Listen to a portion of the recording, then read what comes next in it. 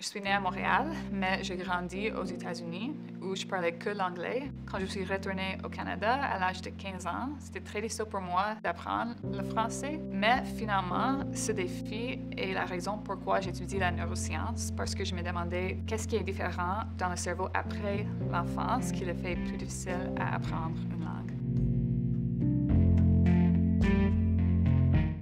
Study auditory neuroplasticity, which is how the sounds that we hear and interact with throughout our lives can actually shape the structure and function of our brains. So different sounds can have different effects on the brain. When you're learning music, learning to play a new instrument, or learning a new language, it actually does change your brain and it makes you better at discriminating sounds that are important to that language or to that instrument. Too much noise can negatively impact the brain, and that's something that we're trying to understand in my lab. And what we see is that after living in a noisy environment, cells in the brain actually have a less accurate response to sounds than they would have before. I think having communication barriers as a kid was one of the things that really motivated me to pursue science communication projects.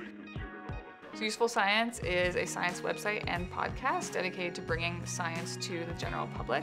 And the way that we do that is by summarizing scientific articles into one sentence summaries. And these are articles that are useful to everyday life.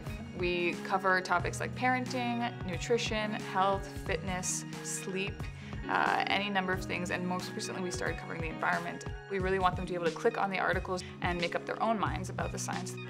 For me, this project is really important because there's so much science out there that happens every single day that could actually make a, difference in people's lives, but it doesn't get to them because it's either behind a paywall or because they're not scientists or because it doesn't get reported on.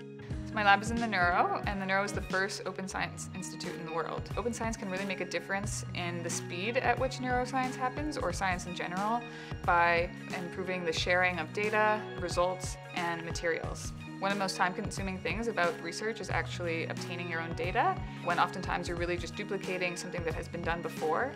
And so having access to other people's data sets would have maybe helped my PhD go faster.